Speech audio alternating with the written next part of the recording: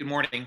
My name is Joe Cimperman. I'm the president of Global Cleveland, and I'm thrilled to have today uh, the honor of being uh, a participant, a witness to this great panel that's going to be closing up our welcoming week. Um, we were very intentional this year about making sure that we included the full scope of the international community here in Cleveland. And throughout the week, we've heard from different people from our Latinx community, we've heard from our healthcare community, uh, we've heard from our interfaith community, uh, representing the greatness that is Cleveland throughout. This week could not have been happening without the incredible hard work of some colleagues, and I just want to give them a quick shout out as this is our last official panel. I want to thank Nancy Janis, I want to thank Jenica Gonzalez, Michelle Carver, Supriya Tamang, Elizabeth Kuzma, Rosarita DeMillo, Esther Ngemba, and Colin Derrick for all the great work that they did. One of the things this panel made me promise was that even though this was going to be the closing panel of Welcoming Week, that this conversation would continue. And so I give you my pledge that as we end Welcoming Week, we begin Welcoming Year and expect to hear more from the great people who participated this week. Thanks to our board. Thanks to everybody who makes this work possible. I'd like to introduce one of our phenomenal board members, Lisa Blanchard, who will be introducing this panel this morning. Thanks, everybody. Happy Welcoming Week.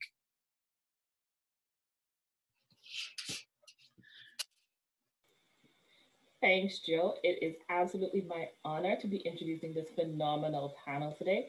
So I thank all our guests who have joined us this morning. We welcome you. We're so grateful to have you here.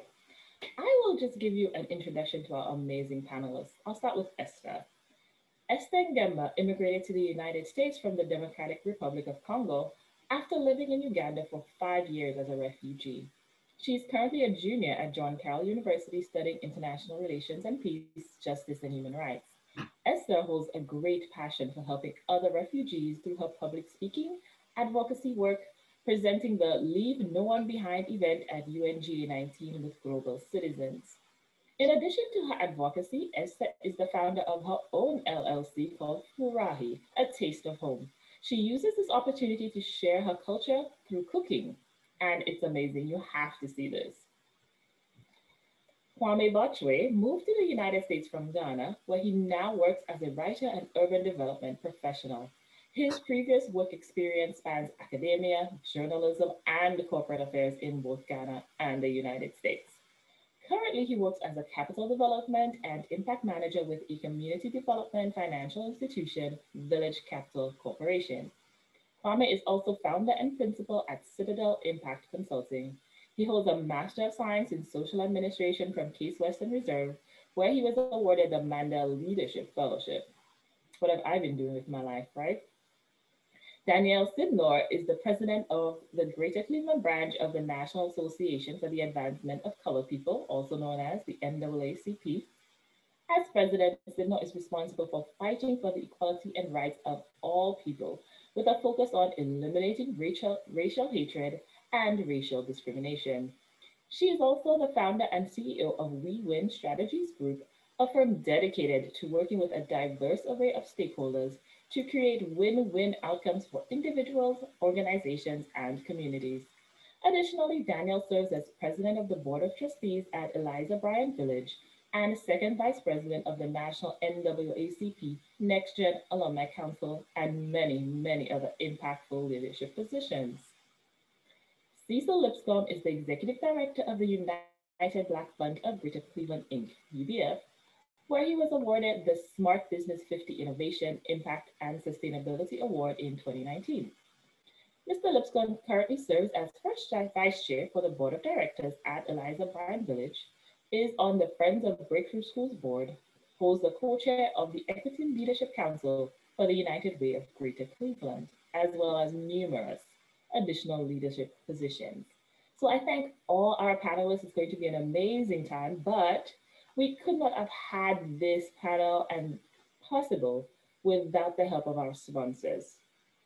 And I invite all our guests, we know you have a choice as to where you do business and who you support. So please remember as you're choosing what to do and where to support in the next upcoming weeks, be sure to think about our sponsors. Cleveland Cavaliers, Marcus Thomas, United Church of Christ, Northeast Ohio Relocation Guide, Cuyahoga County Board of Development Disabilities, Bank of America, Dealer Tire, Catanese Classic Seafood, Alexander Mann Solutions, Eli's Landscaping and Design, Medical Mutual, International Law Section, Cleveland Metro Bar Association, the NRP Group, Destination Cleveland, the Legal Aid Society of Cleveland, Margaret Wong and Associates, Cuyahoga County, City of Cleveland, the Downtown Cleveland Alliance, WKYC Studios, Lucky's Market, and Dave's Market. So at this time, I will turn it over to our moderator, Mordecai Cargill. Take it away. Awesome. Um, or should I say dope? Um, I, I, I, told Cecil that um, you know I was gonna try to work it in as as smoothly as possible, but um, you know I, I just got a little carried away. Uh, what can I say? Um, good morning, everyone, um, and welcome to this virtual liberated space. Um, I'm I'm so incredibly honored to have the privilege to be in conversation and in community um, with with some people that I, I, really, frankly, just admire. You know, I I would do this, you know, any time of day. So, uh, without further ado, I just wanted to um, just unpack real quick uh, what what we mean by a liberated space because it's important for us to to just set that um, context, right? We usually do some agreements when we start these conversations, but um, given that that this topic itself um, thinking about advocacy, allyship, alliance, and like just thinking about what it would mean for there to be some solidarity across um, the the the, va- the vast range of identities and perspectives that are represented within the Black experience. Um, this is frank. This is really like family business, you know. And I told Joe um, when when we were preparing for this conversation that some of these ideas are things that that we often do not have enough time or space to to really unpack in great detail. So I wanted to just make this a liberated space, um, a space that upholds the values of caring, commitment, compassion, and self-reflection. Um, a liberated space is discursive, creative, and even at times contentious, but it's, not, it's never combative or disrespectful. But also, the most important element of a liberated space is that these are spaces that are fertile ground for celebration, freedom, love, and self realization. Is everybody cool with this being a, a liberated space? Cool. Okay, so um, we're we're here to to really unpack the Black experience in a time of um, incredible uncertainty, um, and we're really trying to think about how we create solidarity um, across these these lines of difference um, even within the um, incredible complexity and diversity within the Black community, um, we know that there is some some work for us to do to get on the same page. But um, one thing to is important to note that the Black experience is in some ways a story of migration in and of itself, of departures and arrivals. And so um, I wanted to, before we, we go too much further, I wanted to just start with a soul check um, y'all know I always do these crazy like icebreakers. So today's question is, what is your soul singing? And then after you answer that question, um, I'd like you to reflect on these this two-part prompt. First, what does it mean to be Black in America? And then what does it mean to be Black in Cleveland? It's Cool.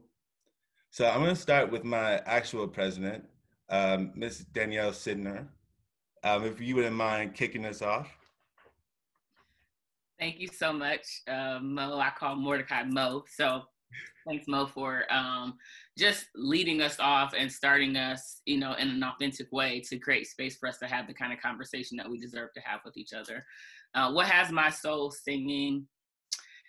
I think it's uh, watching my kids, you know, during this moment and um, seeing how they're responding and reacting to navigating a pandemic, plus also being young black men who are uh, you know at the center of everything that's happening in society around the, the discourse and so seeing them kind of walk into their own voice as it relates to the platforms they choose to use for activism has my soul singing um, and i think in terms of the the prompt of like what it means to be black in america and what it means to be black in cleveland I think what it means to be Black in America is that we have found um, somewhat a new set of partners and allies that we're really, I say, vetting to see how long they'll continue to stay in the struggle with us.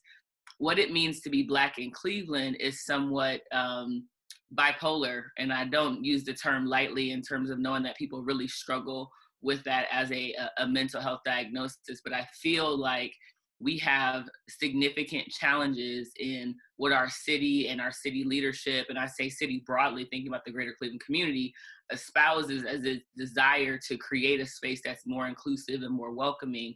But there was an article that was released yesterday in Detroit News that we have now beat Detroit as becoming the largest uh, poorest city in the country. So I just feel like we say a lot, but the actions don't often match up. Right on. Thank you. Thank you for that, uh, D Money. Uh, so we're going to have to un- unpack uh, part of what you said, particularly about uh, what what it means for the Black experience to be a, like a bipolar condition, right? Like how how do we how do we reconcile that? Um, but I want to go to um, to Esther. Esther, if you wouldn't mind sharing uh, what what's keeping your soul singing these days, and then what does it mean to be Black in America? Yeah, uh, thank you so much, Mordecai. Uh, I think food right now keeps my soul singing. I love food and family and just seeing people happy during this um, time because it's a very difficult time. Like, you know, just seeing people happy and just like enjoying life and taking care of your mental health.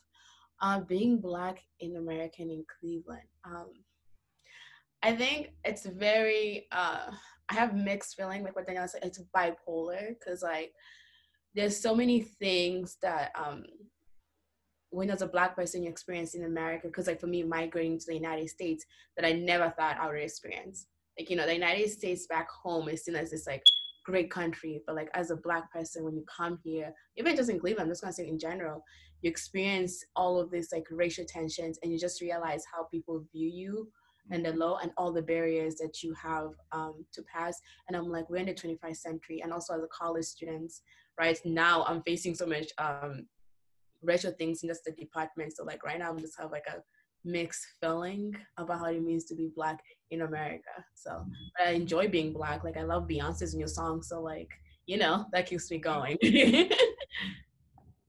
right on. Thank you. Thank you so much.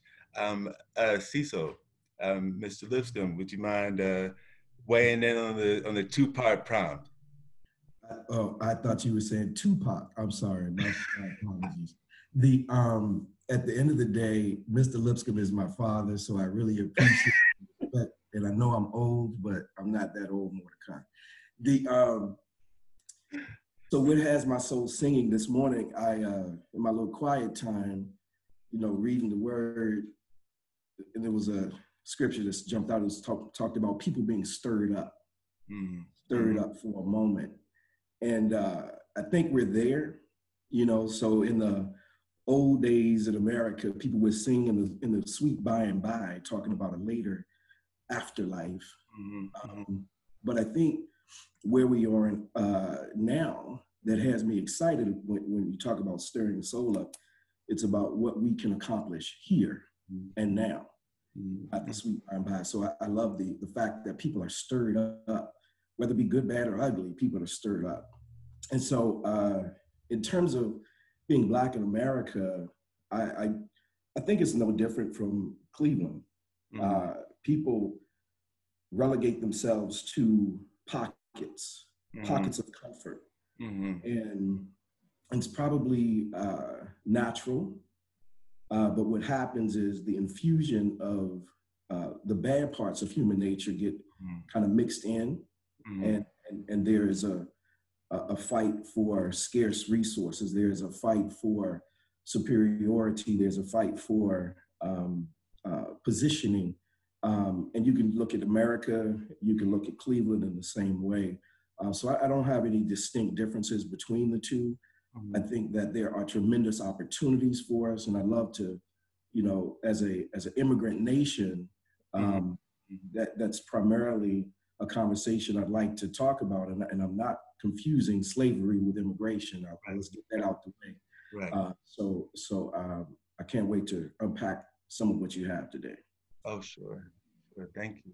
Thank you for that. Um, and Kwame, you have the the final word on this round, and uh, if you can work uh, dope into your reflections, you get an extra point. So no pressure. Awesome. Um, thank you, thank you, Mordecai. So. Um, two things have my soul singing. Um, one is that over the last couple of days, I took the time to um, try to compile all the poetry that I've written over the last decade or so.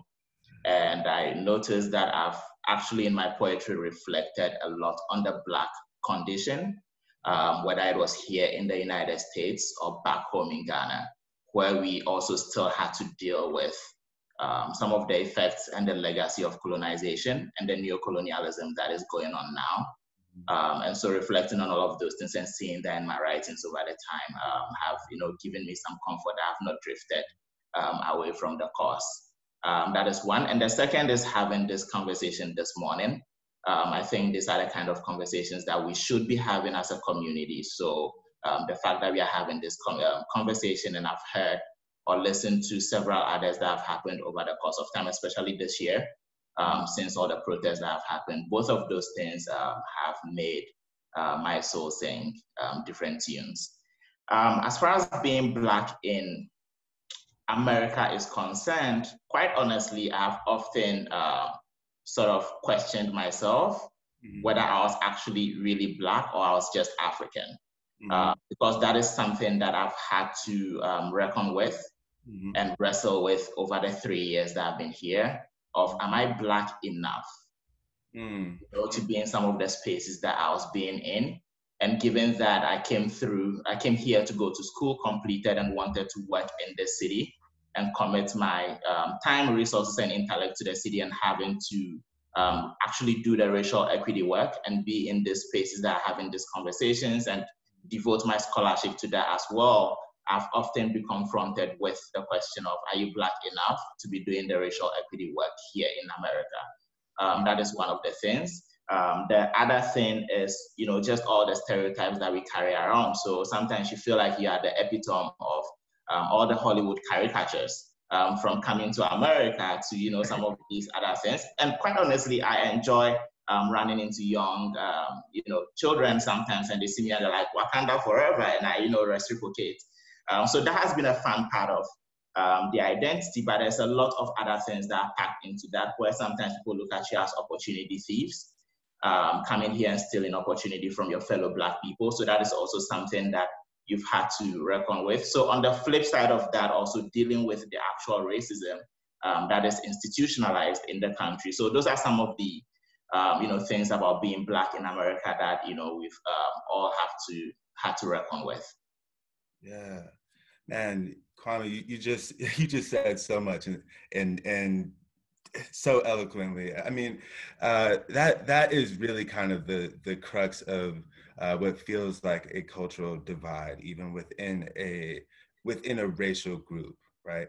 Like there mm-hmm. there is so many ways. There are so many ways that like we are facing together a common experience of this like kind of double and in in some ways triple and layered levels of being othered within the society broadly but then also like needing to defend your right to to to be within a community, right? Mm-hmm. And then there there are there are so many other ways of looking at um, what oppression is. And you know, the Black experience is not all about oppression, but one of the the critical like analytical frames that we we depend on is having an intersectional understanding of like what's happening to us. Like how do we understand our positionality within society, right?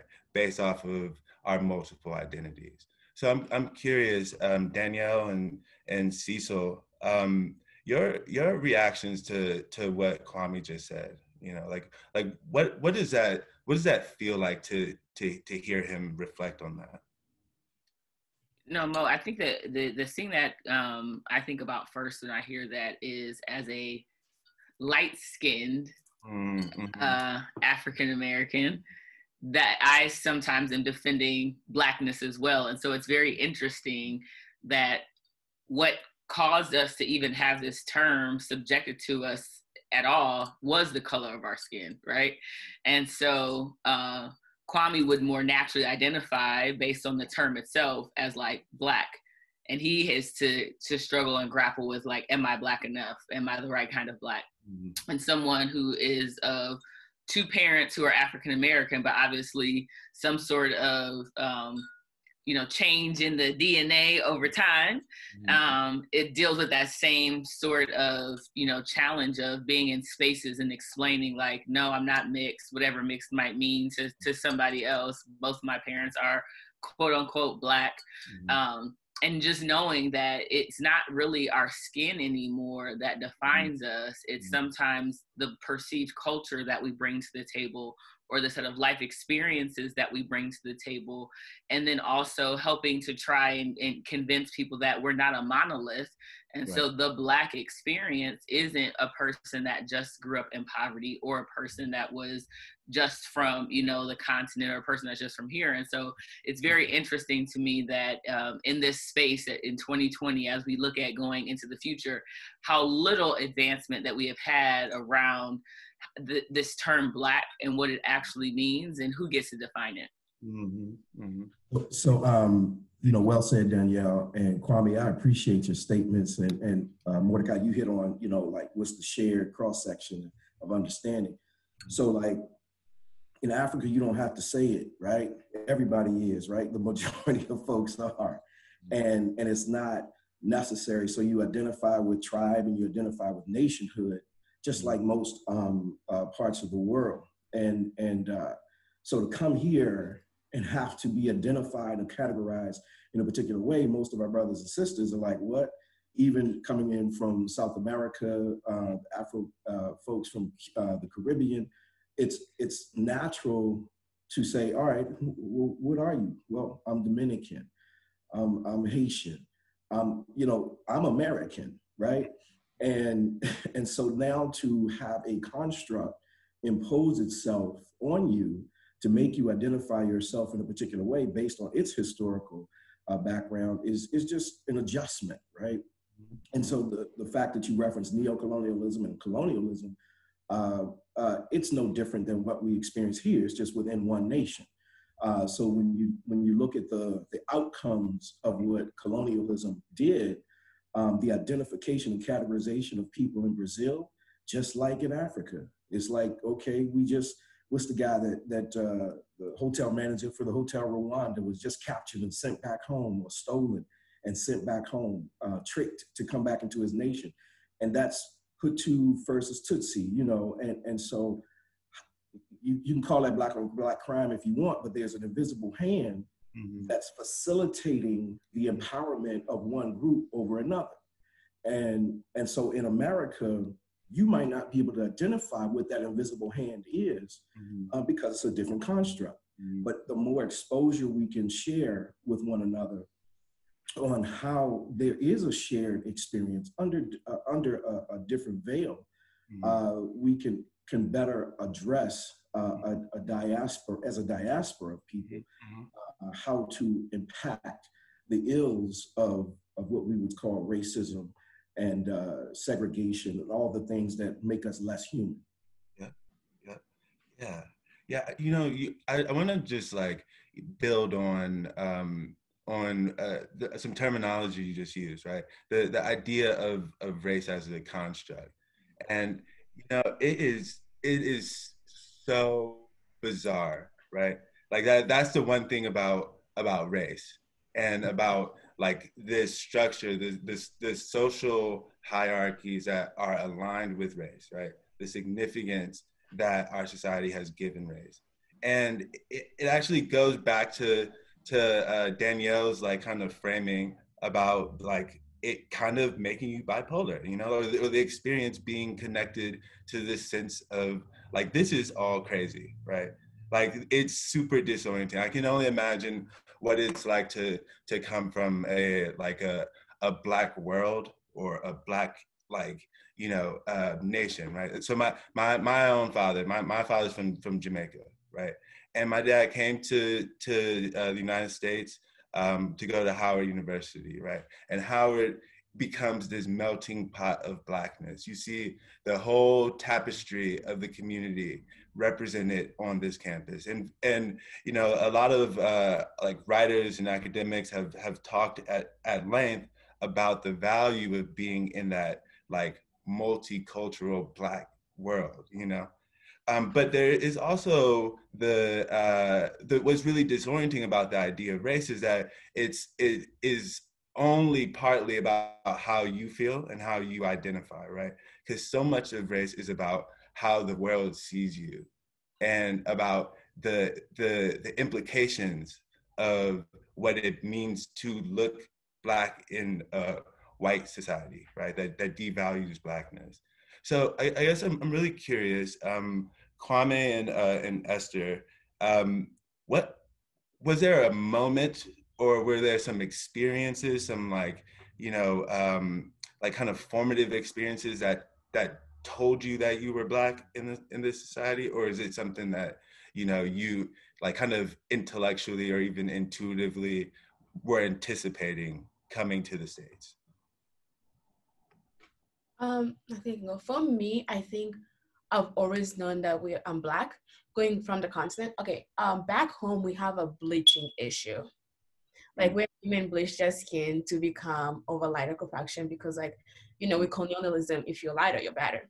Mm-hmm. So, like, I think at a very young age like you know i always like questioned that when i was little but then also like i was you like you know my mom told us like you know no bleaching like that's like bad for your skin but then also like love your black skin like you know so coming into america and just like seeing all like you know i was already like kind of like um exposed to colorism so mm-hmm. coming here it was kind of like uh, saying okay i'm black and i love my skin tone and that's who i am mm-hmm. but then also i think at some point for me when i really realized wow, Black people are really treated different in America than other people. When I was going for my high school interview, I was interviewing to go to this private um, school, and the lady, the way she was treating the other white students and the way she treated me, it was different. And I was like, what's going on here?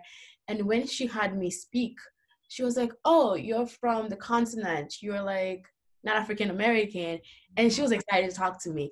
And I got really offended by that. And I'm like, you know, that's when it really kind of like reminded me that, wow, people view you different if you're black. And when you open your mouth, like, you know, they view different when you're African. So now I finally understood when African Americans like say, you're kind of like stealing opportunities from us. And like, you know, when they make those side comments, because I'm like, I'm getting sometimes some people will treat me different when they hear my accent because they know I'm not African American. Mm-hmm. And I think that's when it really like got into me like you really have opportunity in the space to educate that person who is doing that i lady like that's not okay like you know you shouldn't do that to anybody so like i have always identified as black i don't know because i came i came here when i was 12 so i've experienced a lot of racial tensions and i've always like always speak, uh, spoken up but then also like knew that even with my accent i still like get like um discrimination also from like the black community because like they will say those stuff also but like also learning how to like educate each other,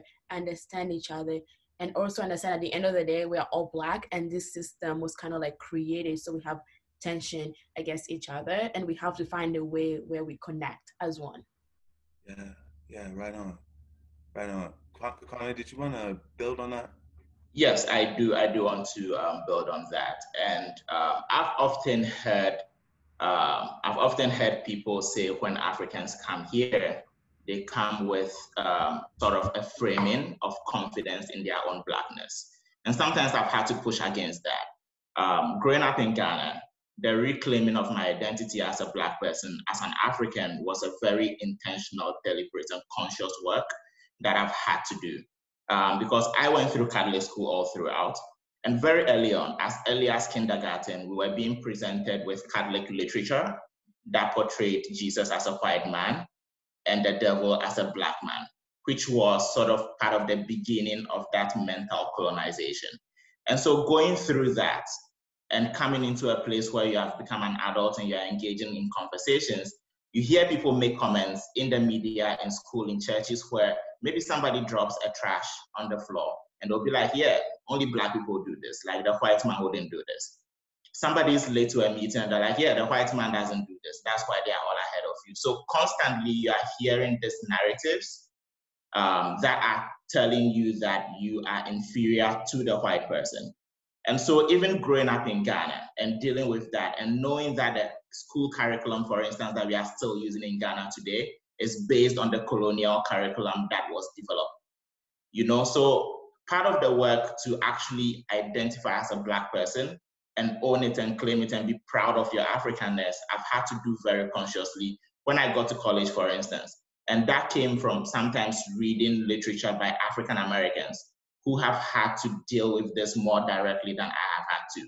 And so for me, the fight started more mentally and psychologically before it became more physical and felt, you know. So in Ghana, I've had to like do that work mentally. When I came to America, it has become even more tangible that you have to protect your identity and you have to um, actually hold on to it um, because it's so easy to lose it because a lot of guys that are coming here, we are so eager to fit in that we are shedding parts of our own identity in order to become um, you know something that society would accept whether it's acceptance by like the white community or it's acceptance by the african um, american community. We've had to shed um, part of our own identities in order to make that happen. And so it's been a very intentional and deliberate work. And i always encourage a lot of like my other african friends um, to do the same. And i do that through like the, the stuff that i write and through conversations and all of those. So um, I, I think there's a lot of like intentionality that has to come with that. Wow. Uh, again, an, another another very deep, deep and and very um, challenging idea, Kwame. Um, you know, I was just thinking about uh, this this thing that, that that James Baldwin would say about the the price of the ticket, right? it's like in, to some extent like your acceptance your inclusion into the places where you want to be included. Sometimes like the notion of what success looks like requires you to leave some of yourself behind right? Yes and precisely. it's, it's so um i mean it, again it goes back to that uh disorientation or like the the mental cost that this um these constructs impose on us, right? Now, I'm I'm really curious, like, you know, uh, I I think that that one of the essential um, like kind of opportunities in this type of conversation is like the understanding and awareness across differences, right? Across these national lines, right? I'm thinking about like the significance of colonialism on the continent and the the intransigence and significance of structural racism within the American context.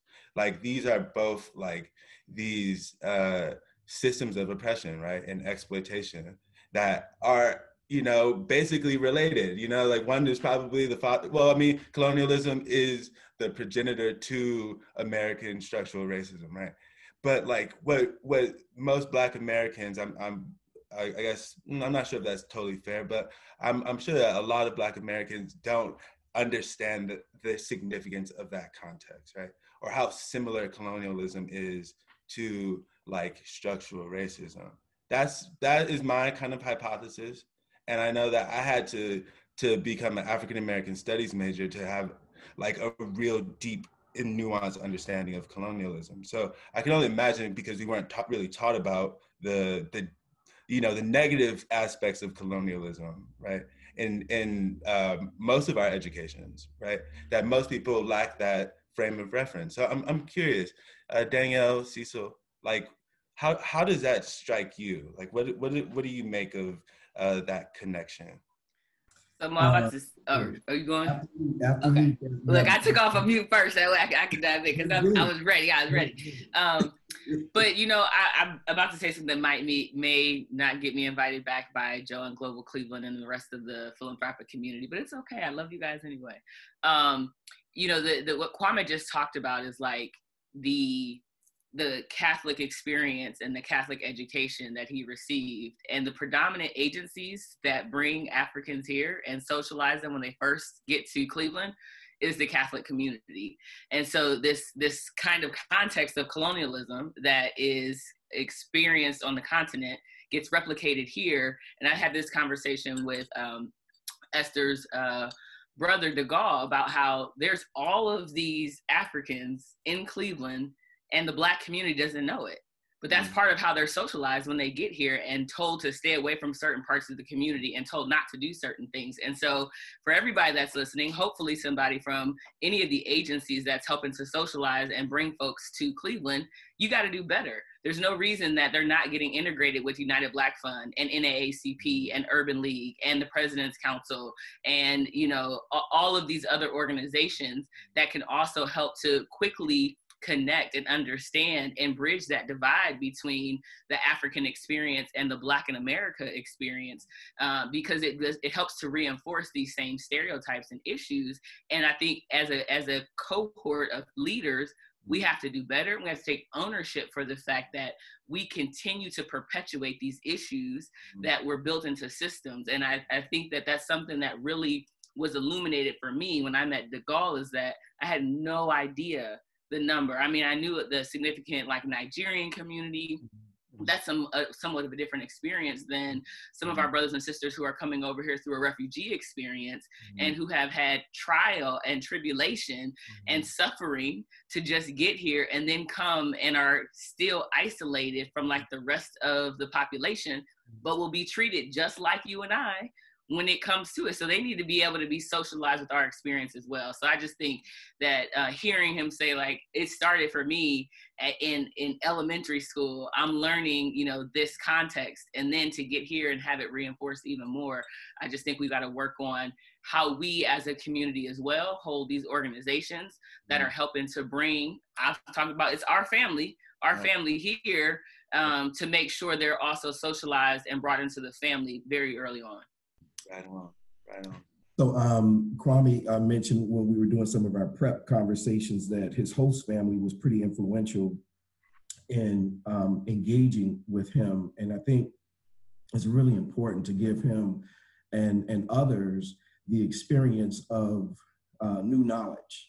Mm-hmm. Uh, and, and, and when I say the experience, he talked about staying out late in a particular part of town, just even day to day life on how to navigate um, and that coming from a lens, we all have to kind of remember our lens, you know, like even as Black Americans, you know, I'm middle class. My, mm-hmm. my great grandfather was middle class. Like th- th- that's a different lens. Mm-hmm. And then so when you talk about um, the the economics of it, mm-hmm. we have to understand that like we I think Danielle you referenced Nigeria so roughly about a $280 million economy, I think the largest in Africa, but it's based on oil and, and, and we're, we're kind of fueling that as, you know, all the gas cars we drive and machines we have, right? Mm-hmm. Um, but then the 62% of Nigerians are in extreme poverty.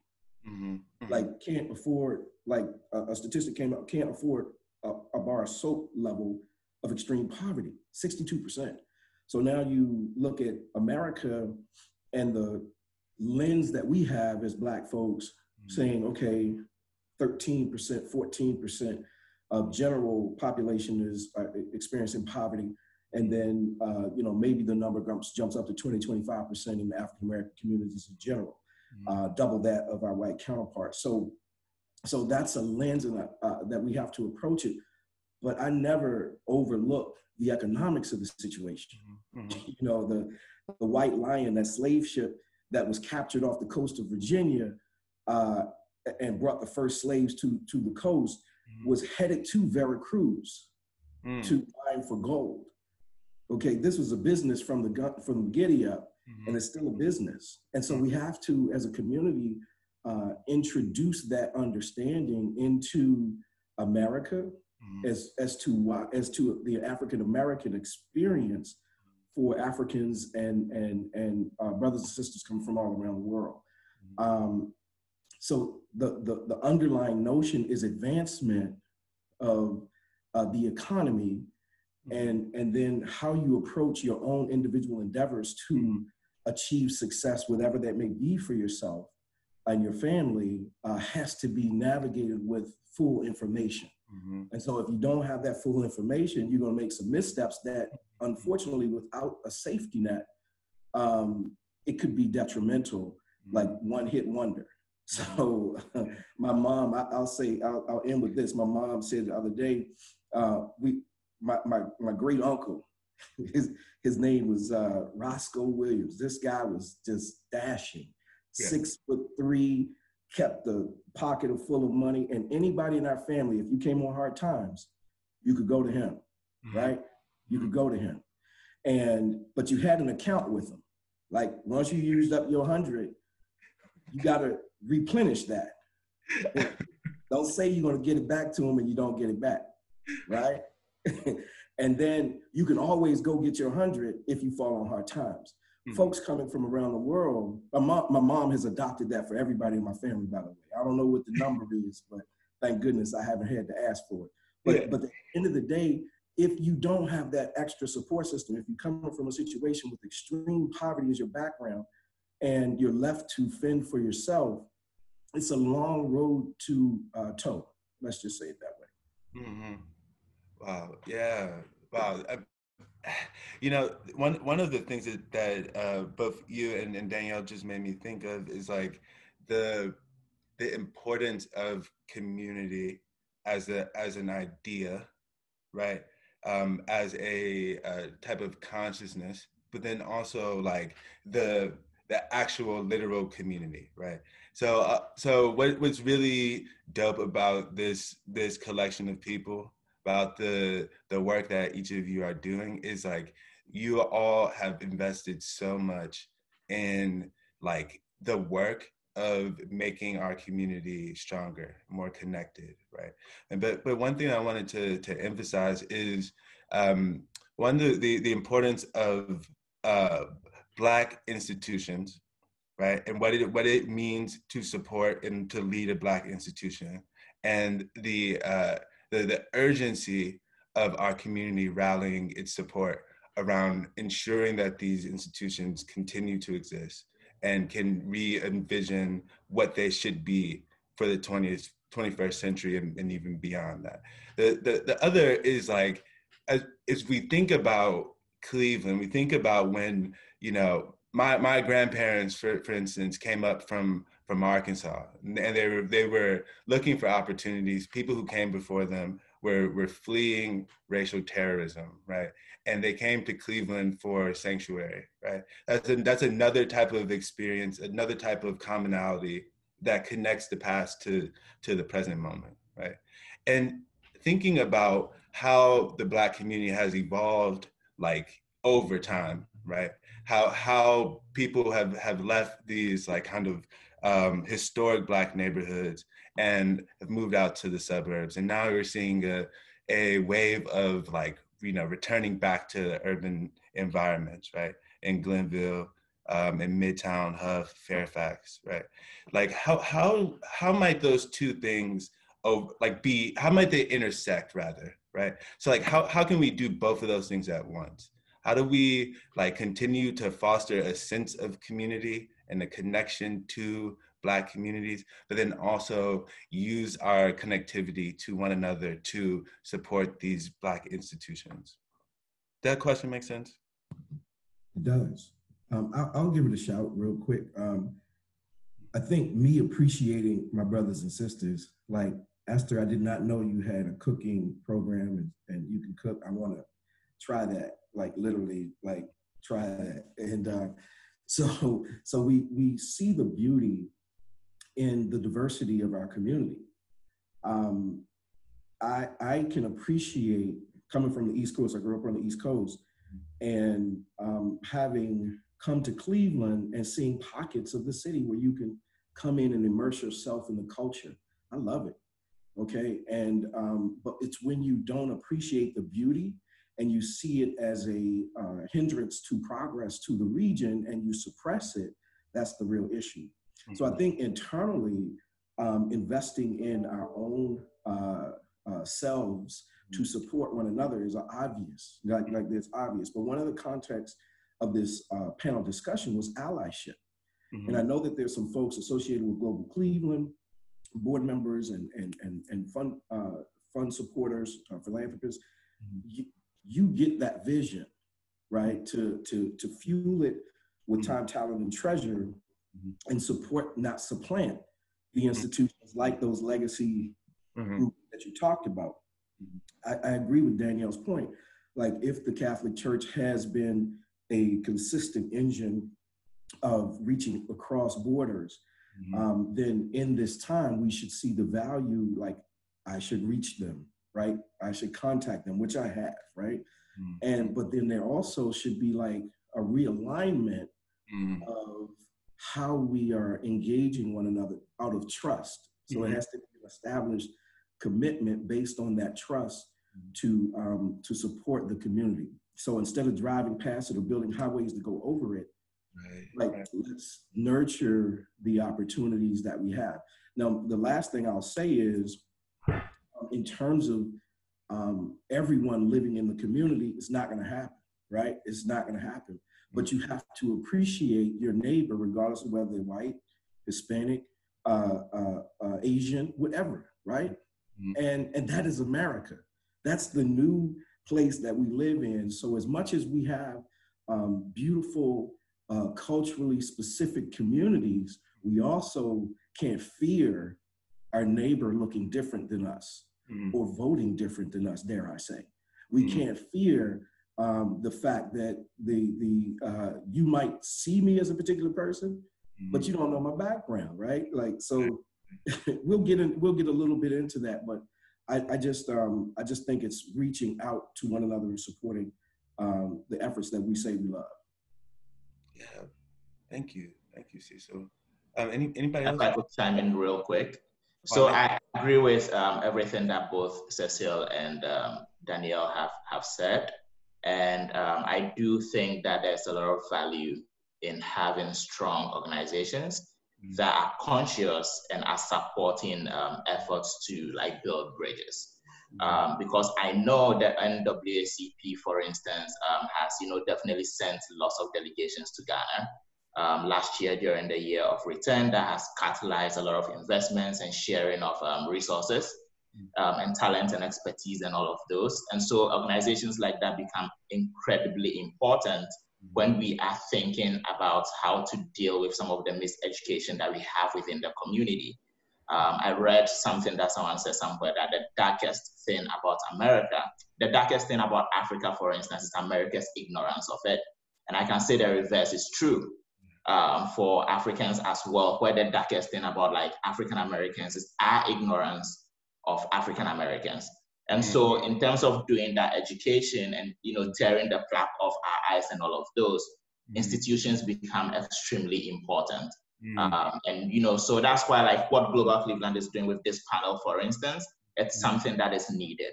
Mm-hmm. You know, and so these conversations, this sharing, you know, getting to know each other, supporting each other, all of these things come to play and are incredibly important if we are to make progress as one community of Black people or Africans or however you want to like um, identify ourselves. Right on, right on. Add on something. Please. Going on, yeah, Danny's point about like um, the agencies also mean people are gonna be mad about what I'm gonna say, but I honestly don't care. There's something me and Mael have been saying.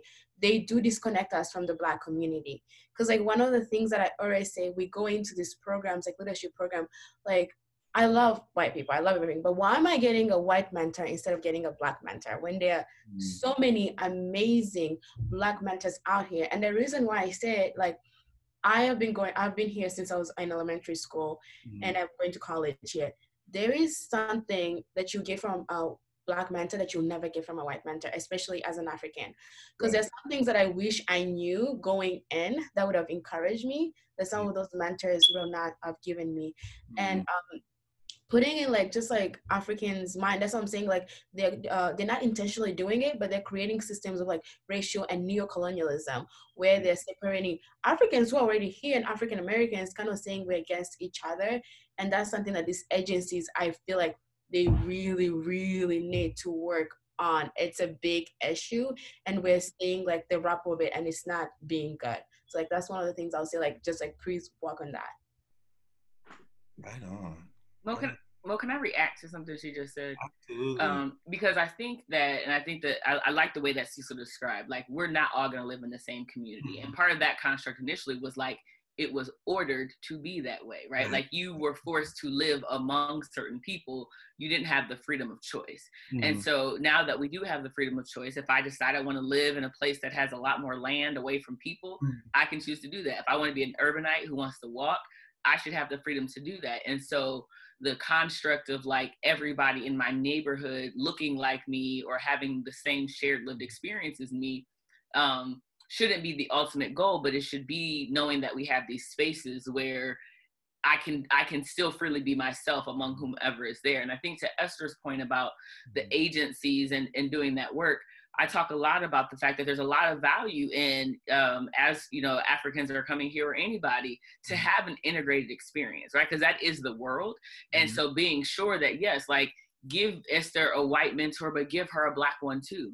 Right. right. So it doesn't, it's not, it's not a limiting. It's not like a, you know, if this, then that. It's like mm-hmm. we can and should do both because a lot of her life experience in America is going to be interacting with white folks. So she needs to be socialized and have that experience too. But please don't rob her of having the experience to sit at the feet and the table with Danielle and Cecil because to your point, those are some shared life experiences. And then we've got people like Michael Obi. We have other Africans who have mm-hmm. come here who could also talk about the like what it was like for me being an. African coming to America, and I mm-hmm. can tell you the struggles that I've had or the the issues of how I bridged the divide between the uh, Black American experience and the African in America experience. And so there's got to be a higher level of intentionality about how we create these bridges to ensure that as folks get here, they're able to thrive um, and not have to deal with as many barriers. So Mordecai, you, you, you got us going now. Um, I, I gotta say we something. have about 10 minutes now. You got us going, sorry. The, okay, uh, no, keep going. Yeah, my, uh, my I'm, I'm like second generation nonprofit, if, if that's a thing, right? My, my, uh, my mother worked for an organization called Christian Children's Fund, mm-hmm. right? And that was the, the, if you remember the commercials, they had, you know, starving children in Africa and so forth. Yeah, yeah, yeah. Views on TV. Um, she was an accountant, uh, but but you know those people that came to America would come and stay with us, uh, Africans. So I, I, grew up like just with that structural nonprofit uh, approach, mm-hmm, but mm-hmm. also having uh, people from the Ivory Coast come and stay and sit in my house, and and and then my family uh, actually going to do uh, work uh, on the continent. Mm-hmm. but at the same time, my grandfather on my father's side, which my, my father, for example, his son is the same complexion as as, as Kwame, right? Mm-hmm. And but mm-hmm. but his father was mulatto, and and uh, had to actually go by himself to purchase the home in the neighborhood where mm-hmm. wanted to take his family, right? mm-hmm. uh, because it was uh, something on the deed that said you couldn't sell to uh, certain groups of people, right? Right, right, right. And, and, out of that neighborhood, out of that neighborhood came uh, Randall Robinson, okay, uh, who, who's Pan Africanist. Uh, mm-hmm. Max Robinson was the first black anchor, mm-hmm. the first black governor, Governor Wilder, all out of that neighborhood, mm-hmm. right? So when we break into certain uh, groups uh, or places, mm-hmm. leveraging what we know how to navigate the American experience, mm-hmm. mm-hmm. opens up the door. But we have to understand and be sophisticated um, to uh, approach success. And it mm-hmm. could just simply be as selfish as I want a good house for my family. Right. Right. And, and there is no obligation uh, beyond that for an average person. You know, you want to take care of your family. Mm-hmm. But then once you've attained a certain level of success, mm-hmm. you should always be thinking about how, how did I do this? What was my roadmap so that I can share it with others, right? Mm-hmm. What, so then you have something to share on how you were able to achieve a certain level of uh, success. Not everybody's called to this mm-hmm. nonprofit work, mm-hmm. right? But there is an option for uh, for everyone to get involved and engage one another in the community. So thank you, thank you for letting me jump in, brother. No, no doubt, no doubt. That was that was perfect, and and you know, I, I think because we're we're getting short on time, um, I, I just want to uh, again thank you, thank you all for your incredible like insights, your just general brilliance. Again, I can't stress enough just how uh, how important this conversation is. And uh, I'm glad that Joe said that um, there's going to be more opportunities to continue this. But like I, I think um, this is a conversation that that doesn't have to wait for the next uh, welcoming week, right? Like we need to be having more of these conversations and spaces because I very much believe that uh, part of being able to create the city of Cleveland that we imagine in order to clarify our, our collective vision for the new Wakanda. That's my vision, but new Wakanda uh, as, as another idea. Uh, in, in order for us to, to, to really crystallize that vision for a better version of ourselves, um, I think it does require us to be in these spaces together, to be building community in literal ways and in more like kind of you know metaphysical ways. But um you know the the the only theme that i would have added to the title um of of this panel is uh is action right? And perhaps naturally i'm inclined to say action is important. But um i wanted to just close this out by giving you all like final final opportunity to reflect like what kind of action is needed in this moment and like how how might uh establishing solidarity uh, between Black Americans, Native Black Americans, and Black immigrants, and you know those two communities coalescing and continuing to work through what solidarity looks like. How might that advance the type of action our community needs? So maybe I'll start with Kwame because you went last first time.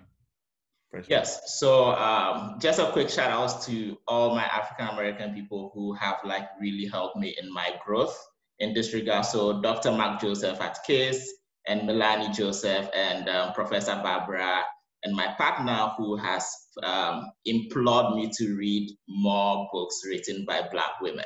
So that is part of my journey that I'm embarking on going forward. Um, as far as the way forward is concerned, I have a couple of things in mind.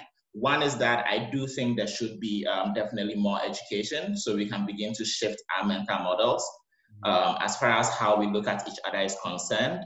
Secondly, is that I think there should definitely be more cultural sharing and exchange. So um, we all need to visit Esther sometime and eat some of her, um, you know, cook, you know, food, Congolese food that she cooks as a way of sharing. Um, the third one is that I think um, on the part of as an African like myself, part of my advocacy is like advocating within Ghana that there should be more state policy that supports this relationship building. So last year we had a year of return. This year we are having beyond a year of return. And then the final thing is that I think we should all date each other. I think Africans and African Americans should date each other because that would also go a long way of building the bond. So that is how I would um, um, sort of close it out. I have more things to say about trade, but I think me and Cecil can have that conversation later. Well, I, I, I, did say action, so you you you responded on the nose. okay, Cecil, you're up. I just want to say Kwame is single. I just want to put a shout out to the ladies out there. No, Kwame is not single. I'm sorry. I didn't know what you were talking about. I'm sorry. I, I took that the wrong way, Kwame. I apologize. So anyway, the action at this point, uh, I, I would like to have this continued conversation. First of all we can do a shared project. Uh, we can focus on a shared project on the continent and a shared pro, uh, uh, uh, project here domestically, and and see if that is enough. If you have common interests and you identify a common problem that impacts both places, then that to me is is a just a logical next step. So I don't know. Uh, we can talk about the work that we're doing uh, at UBF. Um, and, and I would most definitely love to support uh, the work that you all are doing as individuals, as, as young folks here in Cleveland. So, and shout out to Global Cleveland and, and my friend Joe Cimperman for all the, all the wonderful uh, knowledge that you all have produced and, and shared in this week. And it's just been a pleasure of mine to participate. Thank you. Awesome. Thank, thank you. you. so much, Mordecai. Again, thank you to these wonderful panelists. It has been an amazing experience and I've learned so much and so many things have been popping into my mind. So we'll definitely continue this discussion. And a huge thank you to our sponsors. We could not have done it without you. And again, I encourage everyone who's attended to check out our sponsors list and support them in any way you can.